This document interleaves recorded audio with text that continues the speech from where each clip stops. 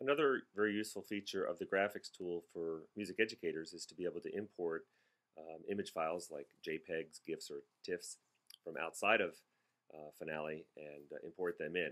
It just turns out that TIFFs are a lot easier to use. Uh, Finale prefers a TIFF, so if you have a graphic converter uh, like uh, Macintosh's Preview or some other external program you can use to save those image files as a TIFF, you'll be good to go. Um, right now we have a worksheet here that has the original Frere Jacques melody and it has the minor version that uh, Mahler used in his first symphony. And we're going to import a picture of Mahler. And here's the, the TIFF file right over here. And um, just to show you that it is a TIFF, let me just open it up. Um, there it is in, in, preview. And that's the, the file that we're going to be um, dropping into a finale document, that uh, picture of uh, handsome young Gustav Mahler. So what we're going to do is use the, go back to finale, use the graphics tool, and then go up to the graphics menu and say place graphic, and it's going to ask you to find it. And so we're going to look out on, um, uh, where do I have that? Uh, find the folder that um, that graphic uh, file lives in. And we're looking for it right now. It's uh, hidden deep in the bowels of my computer. There it is. Okay, so we've we found the file, uh, the Mahler TIFF, and we say open. And then notice our cursor um, has this unusual look to it. Looks like a square with an, an X. And wherever I click, that's where it's going to drop the graphic. So now I have these black uh, squares, the inline graphic squares, and I can use um, my cursor just to move the thing around. I can make Mahler look a little thinner. Um, I can proportionally uh, shrink it, but um, now I have this picture of Mahler um, in my worksheet. Other things that uh, educators might be interested once they have um, you know, finale notation, they want to make it look more like a worksheet, would be things like text. So you could use the text tool and you could um, uh, start typing some instructions to your kids or some information. Um, note the melody on the top. It is the familiar folk song Frere Jacques. Note the melody at the bottom.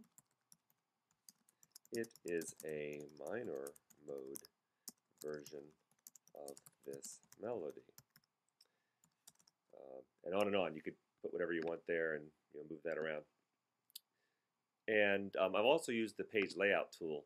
Um, the page layout tool is what enabled me to put my um, uh, systems, basically I'm moving the systems by clicking, clicking and holding and dragging inside the, the system margins.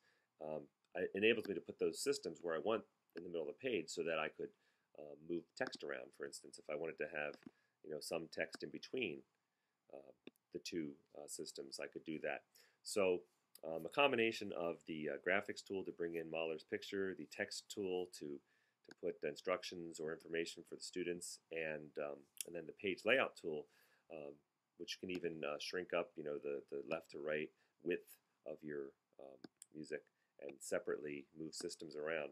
All of those things uh, made this worksheet uh, look more like a, a, worksheet and less like a, a, notation document.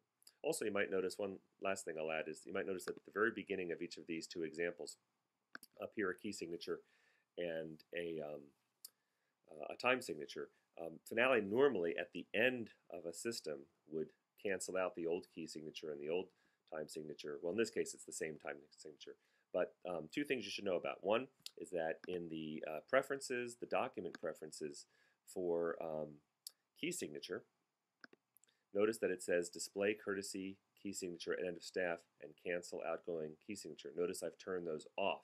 So that you'd want to have done. Then also using the measure tool, for the second example, which happened to also be in 4-4, normally that 4-4 would not appear. In other words, when you're in the middle of a piece of music, if you're in the same um, time signature, you're not going to see the time signature appear. But using the measure tool, and I'll double click on that first measure, notice that I've asked the time signature to always show. It's something that normally would be show if needed, but we're going to change that to always show. And that way, you'll be guaranteed to have uh, the time signature appear at the beginning of, say, exercises or in this case, musical examples, because Finale more or less just regards this as one musical composition, not really as, uh, as an exercise. It doesn't know it is, a, is an exercise or worksheet. So those are some settings that music educators would use, say, uh, when they're setting up uh, uh handouts like this or when they're setting up exercise or drill sheets.